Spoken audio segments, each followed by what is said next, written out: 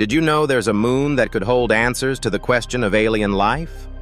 Well, buckle up, because today on Science Spark we're diving into Titan, Saturn's mysterious moon, and uncovering 10 facts that will blow your mind. First of all, Titan is huge. It's the largest of Saturn's moons and the second largest in the solar system.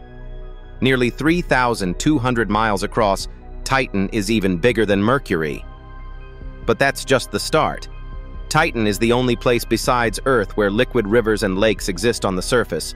But don't pack your swimsuit just yet. Those rivers are made of liquid methane and ethane that stretch across apocalyptic landscapes. And get this, Titan's atmosphere is thick, almost 1.5 times denser than Earth's. Its orange haze is made of nitrogen and methane.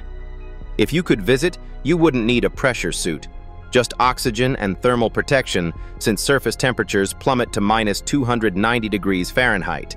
Brr. But here's where it gets wild. Titan has weather. Yes, weather. Methane evaporates, forms clouds, and actually rains back down in a bizarre cycle similar to Earth's water cycle. Imagine raindrops of pure methane.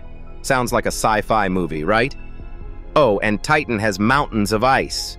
Its rock is actually frozen water, and cryovolcanoes spew water, ammonia, and methane instead of lava. These cryovolcanoes could mean there's an underground ocean, possibly habitable for microbes. Now, flying on Titan? It's not just fantasy. With low gravity and dense air, you could soar using nothing but wings attached to your arms. Talk about the dream for adventurers. Here's a crazy one. Scientists believe Titan is a time machine. Its atmosphere is a chemical lab of organic compounds, possibly mirroring pre-life conditions on ancient Earth. And did you know Titan might be older than Saturn itself? Researchers are investigating if it predates the gas giant. Mind-blowing, right? Now the big question, could Titan harbor life?